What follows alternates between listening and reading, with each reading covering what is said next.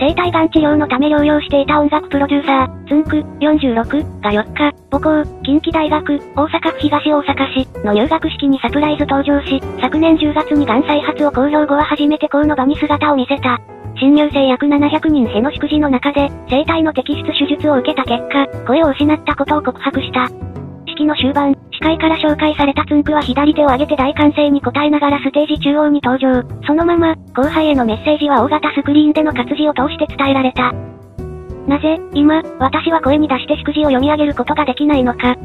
それは私が生体を摘出したからです、と説明。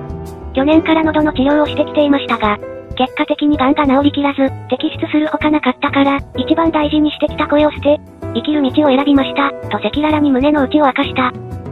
私も声を失って歩き始めたばかりの一回生。皆さんと一緒です。こんな私だからできること、こんな私にしかできないこと、そんなことを考えながら生きていこうと思います、と決意表明した。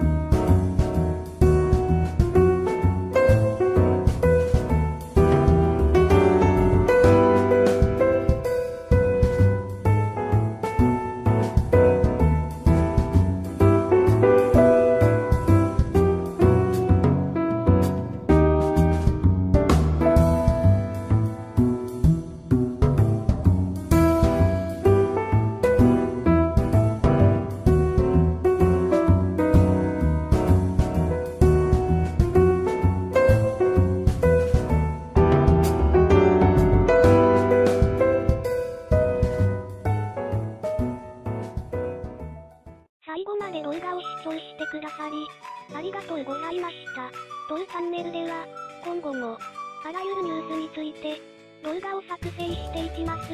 もしよろしければ、チャンネル登録のほど、よろしくお願いいたします。登録は、下の、チャンネル登録、ボタンを押してください。ありがとうございました。